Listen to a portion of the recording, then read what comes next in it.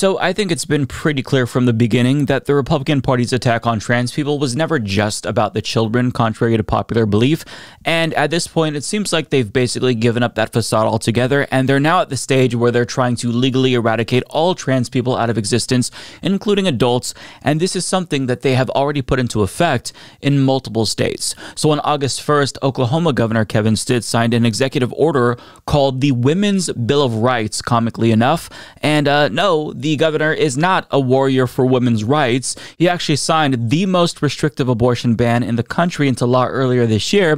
But what this so called Women's Bill of Rights does is it effectively erases trans people out of legal existence. And Nebraska's governor, Jim Pillen, just signed the same executive order in his state. And as LGBTQ Nation explains, the order mandates the governor's own definitions of woman, girl, man, and boy be used in the promulgation of administrative rules, enforcement of administrative decisions, and the adjudication of disputes among state agencies. The list of definitions doesn't address transgender individuals. However, in a statement accompanying the order, Pillen makes it clear that's what the Women's Bill of Rights is all about. It is common sense that men do not belong in women's only spaces, Pillen said. As governor, it is my duty to protect our kids and women's athletics, which means providing single sex spaces for women's sports, bathrooms, and changing rooms. So rather than having multiple laws, one specifically mandating discrimination in sports and another policing the bathroom usage of trans people, this just mandates discrimination across the board by effectively defining trans people out of existence. And the framing of this executive order, both of these, is just so cartoonishly Orwellian that I can't take it. And State Senator Megan Hunt addressed this sarcastically on Twitter, and she also explained why this is so harmful that it's not just going to affect trans people. She writes Today, Governor Pillen, famous women's rights supporter, signed this offensive and ridiculous proclamation establishing a women's Bill of Rights. He should try saying this stuff to my face when we would see who's got the biological advantage. To be serious, Team Pillen should be aware of all the federal funding that could be taken away from Nebraska were his proclamation to be enforced. Federal funding sources for domestic violence shelters and rape crisis centers have provisions protecting trans survivors. I know Governor Pillen probably hates the fact that trans people would ever be protected or safe, but that's how it works today, and he's putting Nebraskans in danger by continuing to make this group the entire focus of his ignorant and discriminatory agenda. Now, that's a really good point, and I'm glad that she brought it up.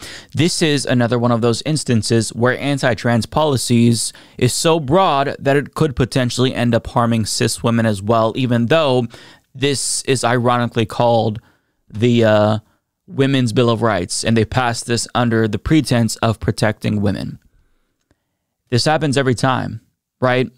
Now, what you're probably thinking is that these anti-trans laws they're getting more draconian as time goes on right and yeah that is the case. You're not going crazy, and you'd be correct to assume that they're going to continue to get worse because what we're currently seeing is a race to the bottom where states with the most oppressive anti LGBTQ plus laws end up sparking a sort of domino effect.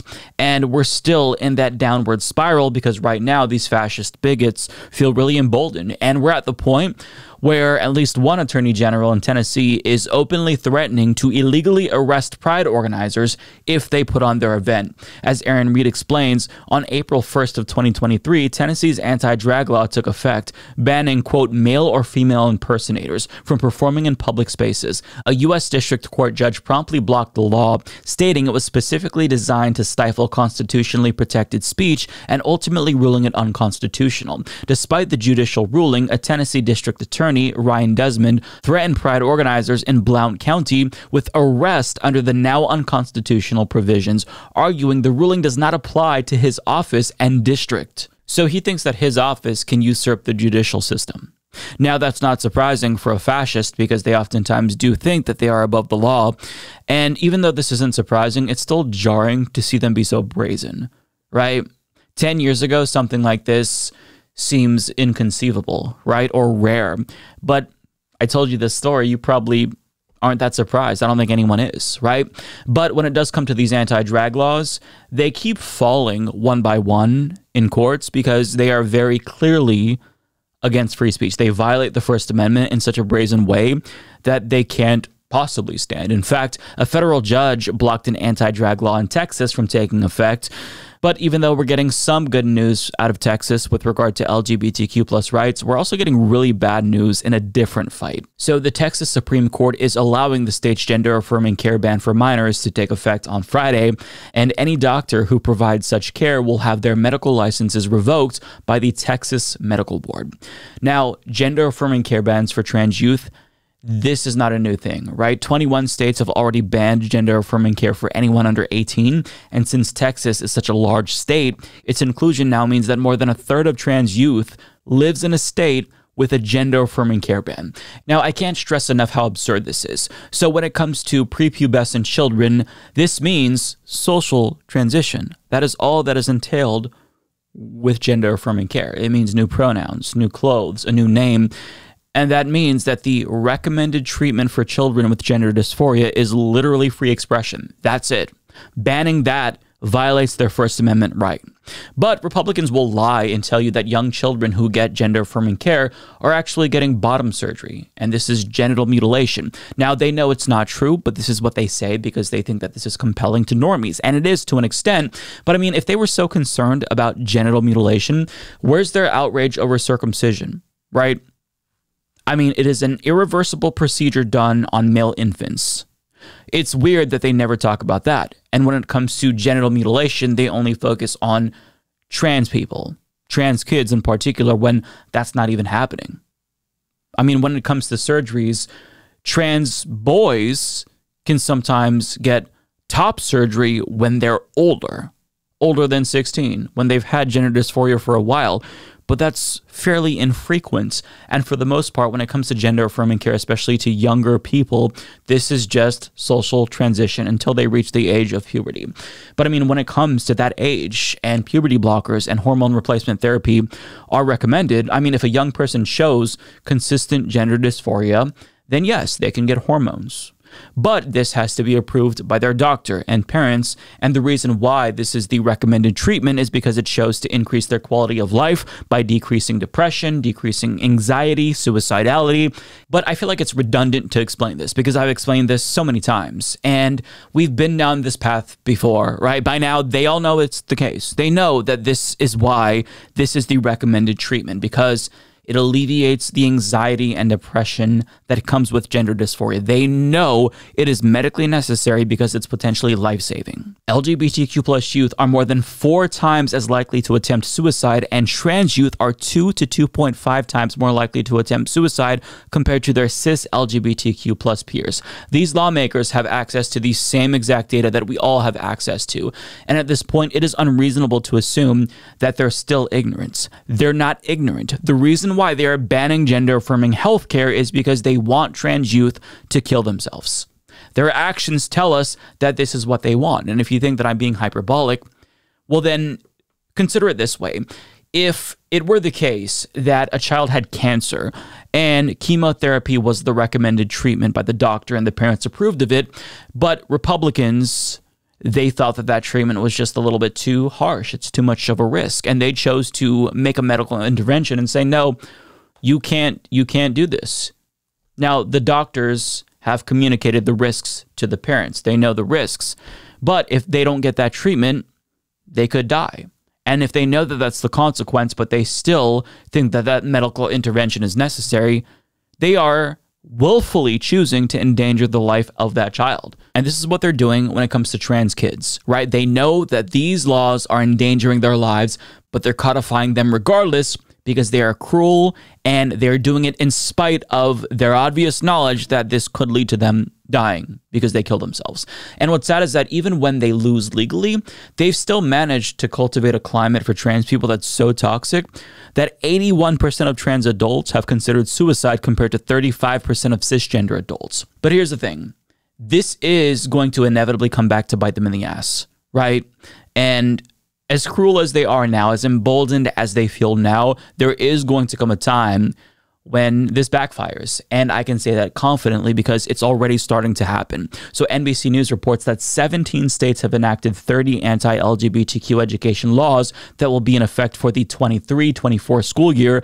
And everyone is on edge because of it parents, teachers. And we know this because a nationwide Navigator research poll of 1,000 respondents finds that the overwhelming majority of Americans are against the GOP's education policies. So 92%, including 87% of Republicans, are against book bans. 84% are against genital inspections for sports. 71% are against teachers getting fired for supporting LGBTQ plus students, including, by the way, 53% of Republicans. And get this 66% are against prohibiting teachers from teaching age appropriate lessons about sexual orientation or gender identity in schools, including history involving LGBTQ figures. And that includes a plurality of Republicans at 46% and a majority of parents at 63%. In other words, most Americans are not stupid enough to believe that their kids will magically turn gay or trans upon hearing about the existence of queer people. They know that that's not how it works, and that is fucking stupid. The polls reflect that, right? Despite the propaganda and the hyperbole that we're seeing from the right. And aside from most Americans being against it, there's anecdotal evidence as well suggesting that these anti-LGBTQ plus policies are already causing blowback for Republicans. John Gallagher gives us some examples in an op-ed for LGBTQ Nation. So some school districts in Virginia are openly defying Glenn Youngkin's anti-LGBTQ plus policies. Also in Indiana, parents are annoyed that they literally have to fill out paperwork for their kids to be able to use nicknames. Now, I don't know about you, but when I was in school, a lot of kids used nicknames. My name is Michael. I go by Mike. So, under these rules in Indiana, my parents would have to fill out a permission slip or paperwork in order for me to go by the nickname that I prefer. Now, this is an obvious attempt to enforce the dead naming of trans youth, but it's affecting cis kids as well, and it is irritating the shit out of parents who just want their kids to be able to be called what they prefer. Now, John Gallagher also explains that some Republicans even want to move on. Former lawmakers think that they're focusing on this too much. So basically, the chickens are going to come home to roost at some point and they're going to reap what they sow eventually. But it is going to get worse before it gets better. But the thing is that it will get better. That's really important to remember. It will get better. And if you're a queer person watching this experiencing depression, or suicidality, I'm going to link you to the Queer Lifeline down below because even if it feels like you're alone, it's important to remember that you are not alone. We are all navigating this really scary moment together. And I promise you, talking to someone is the best reminder that we're not alone, right? Just hearing somebody else say, yeah, this is crazy is very therapeutic, right? But just remember that you are worthy, your life matters, and you will see these fascists eat shit one day. Play stupid games, stupid prizes. Play stupid games, win stupid prizes. Play stupid games, win stupid prizes. Play stupid games. F around and find out. Prizes. Play stupid games, win stupid prizes. Play stupid games, win stupid prizes. Play stupid games, win stupid prizes. Play stupid game, game, game, game, Pride. Trans rights are human rights. It is necessary to push trans on the kids. Pride.